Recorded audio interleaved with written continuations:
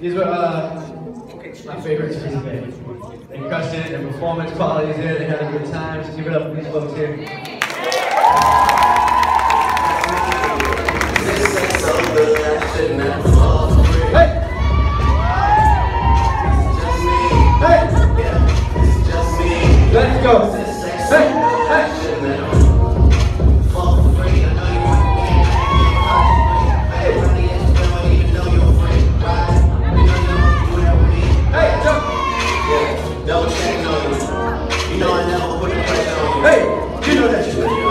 Hey!